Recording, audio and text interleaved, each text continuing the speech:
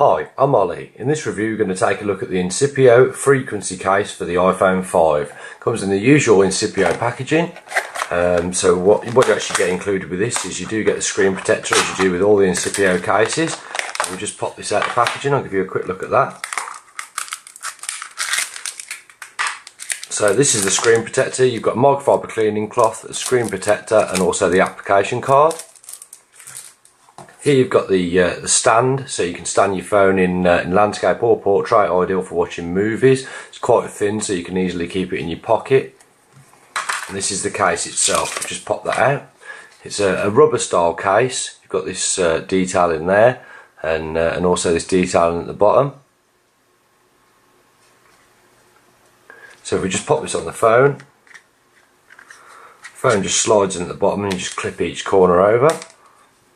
So the uh, there's the little uh, opening there which allows you to get to the silent switch. The volume up and down buttons are pressed through the rubber case itself and also the uh, the power button at the top. Got a decent raised lip around the uh, the phone screen so you've got protection there. And that's the uh, the design on the back again. So it does catch the uh, the light quite nicely. Doesn't add too much bulk and it adds, because of the the rubber texture, it does actually add grip to the phone as well. So it still feels nice and slim, still easy enough to use with one hand and keeps the phone nice and light. I'll just show the, uh, the camera opening there so that's not going to interfere with anything. So uh, all in all a decent case from uh, Incipio, nothing uh, nothing amazingly special about this, just a, uh, a general um, clip-on case offers decent protection and uh, with some unique styling.